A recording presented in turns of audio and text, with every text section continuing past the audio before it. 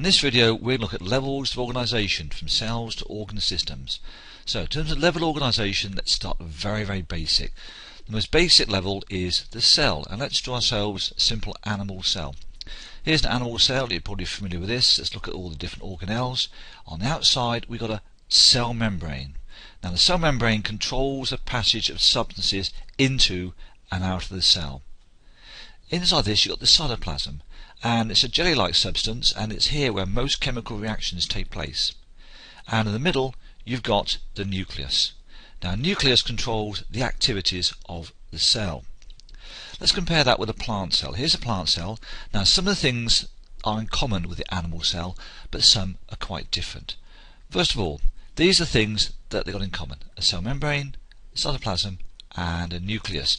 So let's have a quick quick look now at what's different. First of all, around the outside of the plant cell, you've got a cellulose cell wall. Now this is fully permeable. What it does is it strengthens the cell. It's made of cellulose, a very strong substance that strengthens the cell. Inside the middle of the plant cell, you've got a permanent vacuole.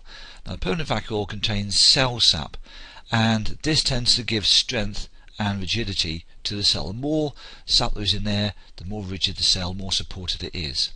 And lastly, you've got these green structures here called chloroplasts. Now, chloroplasts absorb light energy to make food through photosynthesis. They've got a special green pigment called chlorophyll, and chlorophyll has the ability to absorb light energy. Right, now a really popular exam question is compare the two types of cell, plant animal cells. What do we find first of all in plant animal cells. We find a nucleus, cytoplasm and cell membrane. These are all common to plant animal cells. What about the things only found in plant cells? Well, we've got the chloroplasts, the cell wall and the permanent vacuole. You need to learn this because this often comes up in exam questions. Now, we looked at a very simple animal and plant cell. Let's look now at more specialized cells. This here is an egg cell or an ovum. You can see here it's surrounded by lots of sperm. Now it's much larger than other cells because it carries food reserves and here you'll find a developing embryo if one of these sperm gets through and fertilization takes place. Sperm themselves have got these elongated tails and this helps them to swim. They can swim to the egg following ejaculation into the vagina.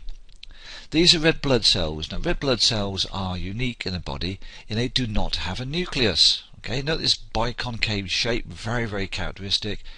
They don't have a nucleus, they can able to pack in more hemoglobin molecules that give it the red colour and so they can therefore carry even more oxygen. And here we've got nerve cells. Now nerve cells again are very specialised cells. They're very elongated, some may be over a metre in length, perhaps from your big toe to your um, spinal cord. They carry electrical signals all around the body. Now, the next step up in terms of organisation from the cell is the tissues. Now, tissues, as it says here, are groups of similar cells able to work together to carry out a specific function. Let's look at an example. Here is muscle tissue. Now, muscle tissue consists of muscle cells, very specialised, and these cells have the ability to contract and also conduct electrical impulses. There are three types of muscle smooth, skeletal, and cardiac around the heart. The next step up from the tissue is the organ. So organs consist of groups of tissues working together to perform specific functions. An example of an organ would be the heart.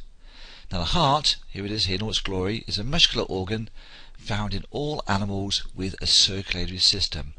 Now it's composed mostly of an amazing substance called cardiac muscle and also connective tissue, but it has in it lots of nervous tissue and also obviously blood. Now the top level of organisation we're interested in is the organ system. Now an organ system is a group of organs that work together to perform a certain task. So here we've got the digestive system.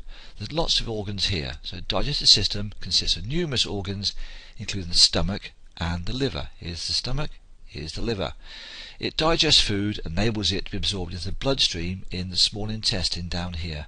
Finally it goes out via this long intestine here and undigested food leaves via the anus. So, to summarise, level levels of organisation. We start with the cells. Cells are organised into tissues. Tissues are organised into organs. and organs are organized into organ systems.